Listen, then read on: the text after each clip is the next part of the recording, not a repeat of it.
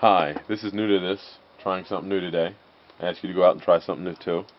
Um, this is an update video to the roof that I was building um, over my um, kindling, which, as you can see, it, it works because it's all dry and it's been snowing here.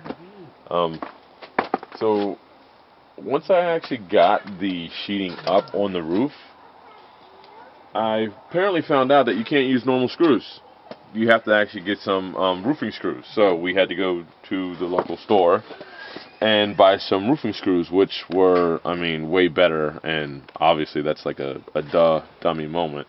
So um, it seems to work fine. Uh, it keeps the snow off, and everything's dry. I mean, it's a I don't know. I put it together and I wung it type of idea, but it works. So we had to put some cross beams right in there so the roof doesn't collapse in the middle. Yeah, I mean, this is just stuff that we found out in the woods.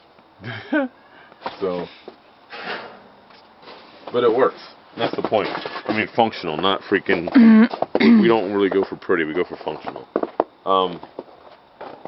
Yeah. Thanks for listening. Bye.